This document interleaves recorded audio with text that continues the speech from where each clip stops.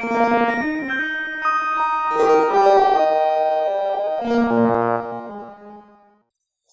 Monsieur Professor. Oh, hello, Pecas. I've been thinking. What? Does boogers decompose and sting like everything else organic? Oh, well, I, I don't know. All of my boogers dry out before they rot, but we should make an experiment. Next time you pick one out, don't let it dry out. Hydrate it often and record the result. You know, you got me curious now. I don't recall ever smelling a booger. Me neither. Weird, huh?